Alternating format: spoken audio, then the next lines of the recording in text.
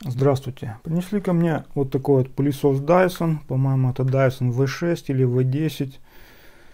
Не знаю точно какая модель. Напишу в названии видео. Но проблема у него в том, что при работе на максимальном режиме вы понимаете, что женщина скорее всего будет пылесосить на режиме максимум, потому что просто так удобнее. Пылесос э, через минуту, там через полминуты выключается и на батарее моргает красная, красная синяя лампочка. Там есть синий светодиод, который светится при зарядке, который потухает после зарядки и который моргает при аварии. И вот э, при аварии, при разрядке моргает светодиод. Вот такая вот батареечка разобранная. Вот. И сейчас я вам покажу, в чем проблема, как ее решить. Вот. Что я сделал? Я подключил к пылесосу, к его ножевым клеммам два крокодила вот здесь, плюс ближе сюда, минус дальше, плюс нижний, минус верхний. Подцепился сюда крокодилами, чтобы показать вам ток, напряжение и суть проблемы. И эти же крокодилы загнал сюда, в эти ножевые клеммы. Желательно полярность не путать. Минус снизу, плюс сверху. Здесь я подключился на самый слабый аккумулятор. И вроде бы аккумулятор заряжен процентов на 80. Здесь токовые клещи, которые показывают ток, который потребляет пылесос от аккумулятора. Так, нужно сбросить показания в ноль, показания в нуле. И как-то нужно запустить пылесос. Кнопка при нажатии действует на микрик. И микрик в вожатом состоянии. И вроде бы должен выдавать напряжение на пылесос. Но напряжение не выдается потому что здесь стоит геркон в батарее, а здесь стоит магнит. Вот в этой части стоит магнитик, и при установке батареи этот магнит воздействует на этот геркон, и пылесос запускается. Я просто приклеил магнит сюда на лопатку и этим магнитом запускаю пылесос. Так, посмотрим, какой будет максимальный ток. И здесь я включу на минимум. Так, минималка, чтобы увидеть минимальное напряжение на аккумуляторе. Так, поехали. Режим максимум.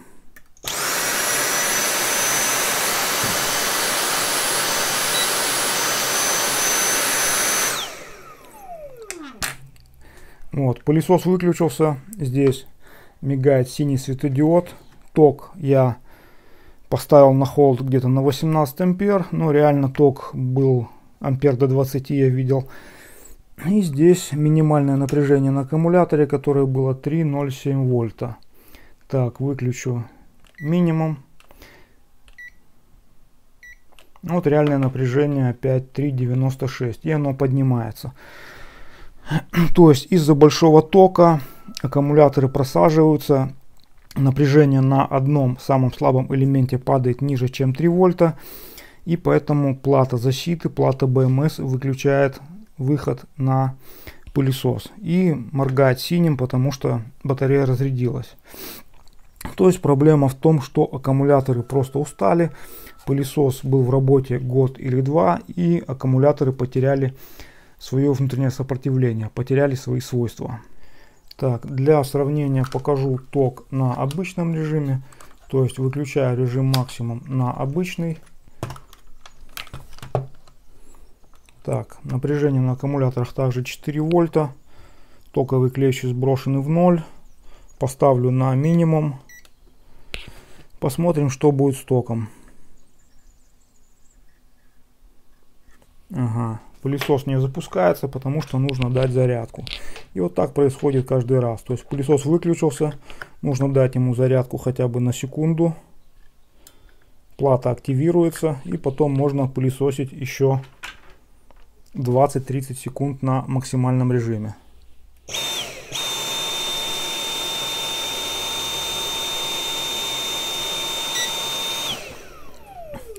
Вот сейчас видно, что ток всего 3 ампера, а не 18 ампер.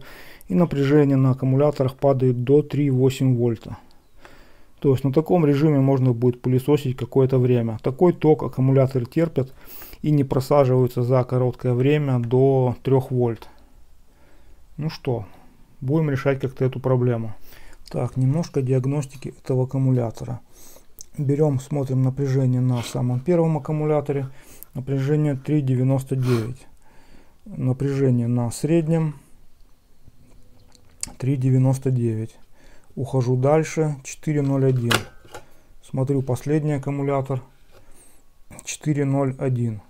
То есть напряжение на самом последнем и самом первом отличается. Это говорит о том, что аккумуляторы разбежались по напряжению и БМС их не балансирует. Ну, на середине они может быть разные по напряжению, потому что у них уже разная емкость. Но я проходил даже после окончания заряда по этой батарее и напряжения были разные, то есть было 4.11, 4.13, то есть в этой БМС нет балансира, скорее всего. Поэтому аккумуляторы разбегаются по напряжению и поэтому это снижает время работы батареи. Так, и пройдемся таким прибором. Профессиональный прибор для измерения сопротивлений YR1030+, 1035. И как подписчики пишут, нужно проверить его перед использованием. Проверить калибровку нуля. Так, вот есть 0. Щупы замкнуты, есть 0. 0 я сбросить не могу, это упрощенная версия прибора, калибровки ручной нет. Так, смотрим на крайний аккумулятор. 17 и, ну, грубо говоря, 17,8 миллиома. Так, смотрим на аккумулятор крайний с другой стороны.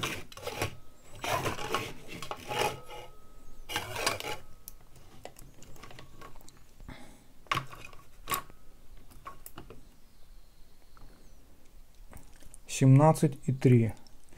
17,7, 17,3 в принципе внутреннее сопротивление у них похоже, но дело в том, что здесь стоят аккумуляторы Sony VTS4. Вот здесь можно разглядеть надпись VTS4. C4. У этих аккумуляторов по даташиту, по документации внутреннее сопротивление должно быть 12 миллиом. Ну, естественно, со временем, с циклами зарядки, время не щадит ничего, и поэтому у них внутреннее сопротивление стало больше. Соответственно, они выработали свой ресурс, поэтому при больших токах до 20 ампер у них падает напряжение до 3 вольт, и поэтому BMS вырубает выход этого пылесоса. Просто нужно поменять вот эти вот 6 аккумуляторов и все. Ну, как бы это просто, но вроде бы это не просто, потому что есть нюансы. То есть получается, что нужно заменить 6 аккумуляторов. И нужно найти 6 аккумуляторов с малым внутренним сопротивлением, э, около 12, 13, 10 миллиом. Вот, у меня от прошлого обзора, от тестов остались 6 аккумуляторов Joyrim. И вроде бы они похожи по параметрам. То есть 13-14 миллиом у них неплохая емкость, но проблема в том, что этот пылесос я делаю не себе.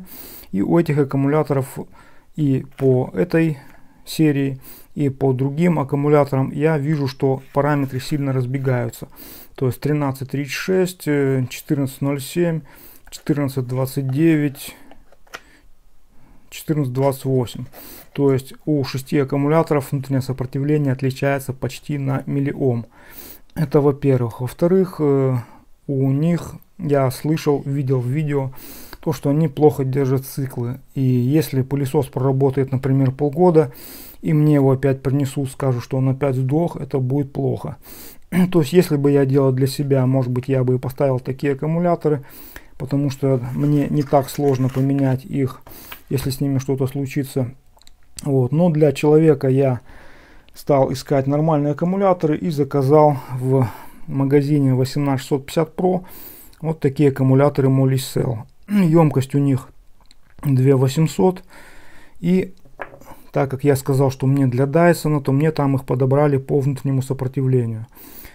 То есть вот уже я измерял параметры, там написано внутреннее сопротивление около 12, 12.10, 12.11, 12.02, так, 12.06. Ну, в общем-то, у них параметры внутреннего сопротивления очень близки друг к другу. Вот, 12.08, 12.02. То есть они отличаются буквально на где-то 5 соток. Вот, аккумуляторы приехали вот в такой коробке, были замотаны в кучу пленки, которую я замучился разматывать, и в подарок есть куча вот такого упаковочного материала. Ни разу такого еще не видел. Такая большая коробка для маленького числа аккумуляторов. То есть нужно поставить эти аккумуляторы в этот пылесос. Но проблема этих плат в том, что говорят, что эти платы блокируются, если снять с них напряжение. То есть если просто я отпаяю контакты, то скорее всего плата заблокируется и когда я поставлю новый аккумулятор, плата не будет отдавать напряжение наружу. Особенность оригинальных плат. Так это или не так, проверять мне не хочется, чтобы не покупать в Китае плату и не ждать месяц с Алиэкспресс я просто припаиваю сюда дублирующие контакты, может быть с этих аккумуляторов от ноутбука, чтобы запитать эту плату, чтобы она думала, что она запитана. Отцепляю эти аккумуляторы, которые есть, и привариваю новые аккумуляторы. Ну что, буду пробовать и показывать параллельно, что у меня получится. Для того, чтобы запитать эту BMS, чтобы она не обесточилась, когда я сниму эти аккумуляторы, я сделал такую сборку из аккумуляторов. Тут э, старые бэушные аккумуляторы от ноутбука. Ну, предварительно я их, конечно, все зарядил до конца. И три аккумулятора с Алиэкспресса. Итого у меня 6 аккумуляторов. Можно было разделить эти сборки и сделать 6, но мне было лень их разделять. Или же можно подать на эти контакты 24 вольта и 25 вольт и резисторами разделить напряжение. Разделить на 6 элементов и раздать их сюда. Но проще спаять 6 аккумуляторов, так будет, наверное, точнее и проще. Вот. Ну и дальше я взял 7 проводов. Вот отсюда идет плюс. Вот это вот силовой плюс. Силовой плюс приходит сюда. И этим проводом он идет на общий плюс сборки. Потом идет минус первого аккумулятора и плюс второго. Вот это вот ламель. И она идет вот сюда. И этот желтый провод уходит на следующий контакт. То есть он уходит вот сюда. Ну и перед каждым, перед каждой припаиванием провода я проверял. То есть если у нас здесь один контакт стоит на плюсе, если у нас здесь напряжение 4,1 вольта, то здесь напряжение должно быть 4,1 вольта. Тогда я припаиваю провод. Ну и для примера, допустим, последний контакт у меня вот здесь. Напряжение у меня 24,6 вольта. И на этом проводе, который последний идет отсюда, тоже 24 и примерно 24,4 вольта. Вот. То есть напряжение не должно сильно отличаться. Если напряжение сильно отличается, значит где-то вы ошиблись в сборке этого аккумулятора, в сборке этого питания. Вот. Ну, если вы припаиваете провод, провод и у вас изоляция начинает дымиться и сгорать, значит вы что-то припаивали не туда. Отпаивайте его и ищите, где схему собрали неправильно. Все, теперь эта плата BMS полностью запитана с этих аккумуляторов я буду отделять эти аккумуляторы и сюда припаивать новую сборку. Так, я проверил аккумуляторы на емкость. Емкость минимальная 2706. Проверка была током примерно 2,5 ампера. 2706, 2730, 2730, 2730, 2740, 2740. То есть расхождение по емкости очень маленькое. Ну и по сопротивлению, по-моему, я уже говорил по-моему, 12 и 11 миллиом это самое большое, и 12,02 самое маленькое. По параметрам они отлично совпадают. Ну и нужно ставить их в кейс и варить. Ну, перед этим нужно попробовать, вообще нужно подобрать параметры. И, скорее всего, я буду варить э, стальной лентой, покрытой никелем, толщиной 0,15, потому что 0,2 варить Сварочник мой варит не очень чисто. И 0,15 я могу просто сварить в два слоя. И у меня получится 0,3. Так, в параметрах выбрано 0,199. И пробую на старом аккумуляторе, который разряжен в ноль. Пробую на нем приварить эту ленточку. Так, провода жесткие, с проводами неудобно. Так, и по нажатию педали идет сработка. Так, качество сварки, ну, вроде бы ничего не подгорает. Ну и пробую оторвать ленточку, при этом не порезав пальцы. Так, лента отрывается вот так вот. И вот так остаются куски ленты. Ну, я думаю, вполне достаточно таких параметров 0.199. Все, загружаю аккумуляторы в держатель аккумуляторов. Провода не отвалились, вроде бы БМС запитана и варю потихоньку эту сборку. Так, подготовил, нарезал ленту, вставил аккумуляторы. Аккумуляторы в этот держатель вставляются с одной стороны, с той стороны они не вставляются. Там ограничитель. И наклеил вот такие вот картонные колечки, потому что если картонные колечки не наклеивать, то может получиться вот так вот. Это оригинальная банка из этой батареи. И я когда срезал ленту, то замкнул на край ножницами. Вот так немножко подгорел край ножниц.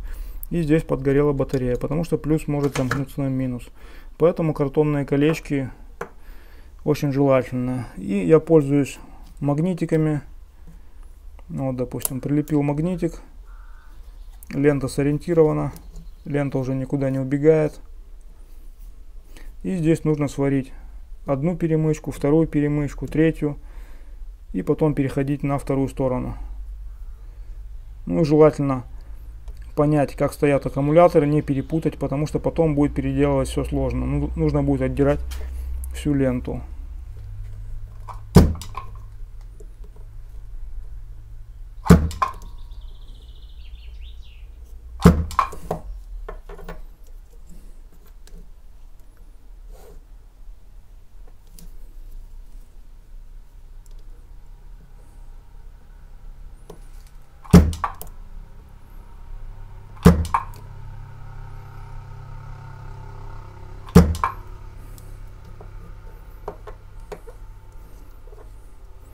Вот такое получается качество сварки. Ну, вроде бы, я считаю, неплохо.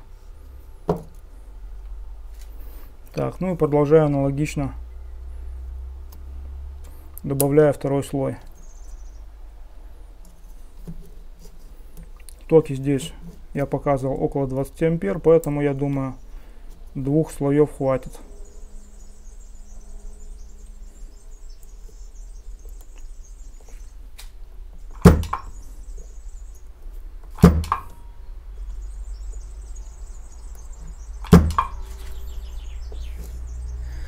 Сюда я приварил тоненькие ленточки для промежуточных соединений.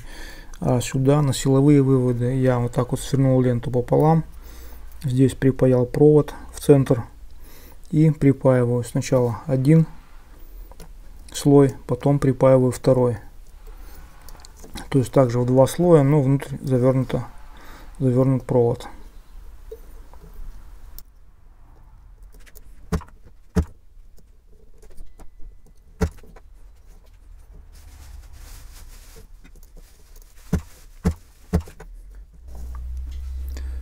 Все, можно спаивать эти все провода. Дальше, вот я начал припаивать батарею, начал с минуса, то есть минусовой контакт припаял к минусовому проводу, который идет к БМС. -ке. И дальше нужно подсоединять вот эти контакты, которые идут к промежуточным контактам БМС. и потом последний силовой.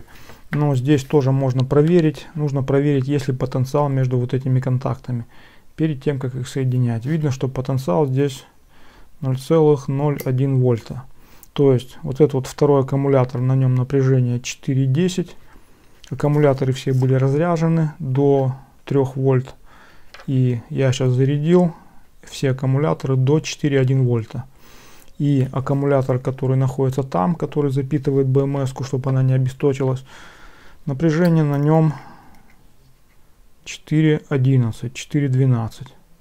То есть аккумулятор там 4.12, аккумулятор здесь 4.10.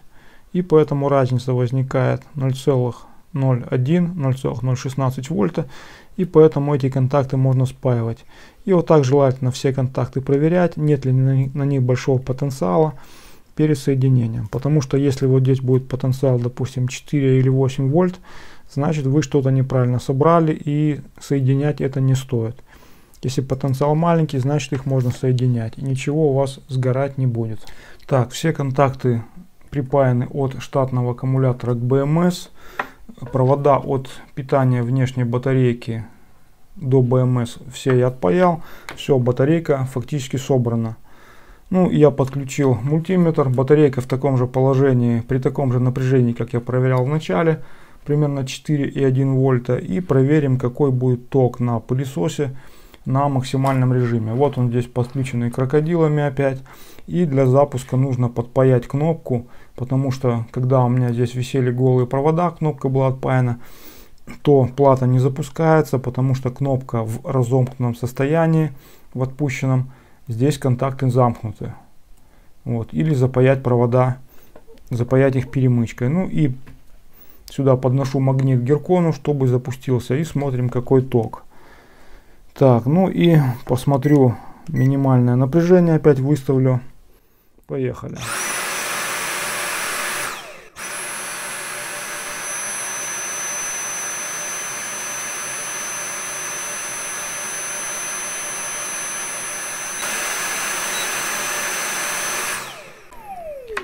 Ну вот, примерно полминуты пылесос работает.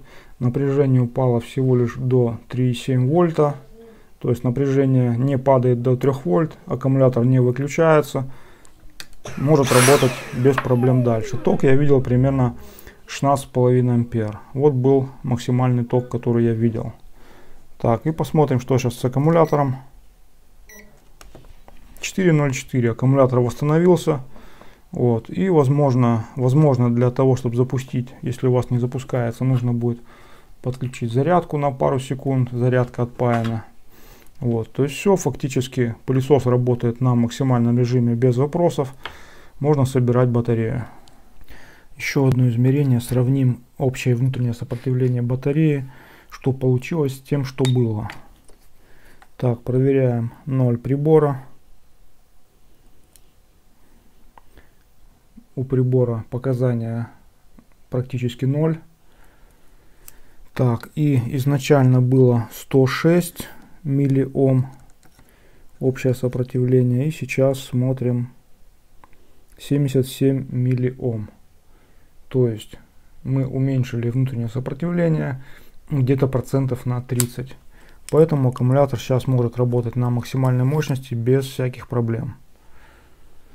Так, осталось припаять провода на разъем зарядки и собирать батарею. Так, микрик установлен на место. Кнопочка поставлена поверх микрика. Ставим батарею в пылесос. Проверяем, работает ли зарядка. Зарядка работает, светодиод светится. Проверяем работу. Все, пылесос работает. Все, просто поменяли элементы на те, которые устали. Sony VTS, VTS 4 на качественные элементы от магазина 18650 Pro RU и все заработало. Если есть какие-то вопросы по этому видео, буду рад ответить в комментариях. Если тема канала была интересна, можно подписаться поставить лайк под этим видео. С вами, как всегда, был Радиогубитель. До следующих видео. До свидания.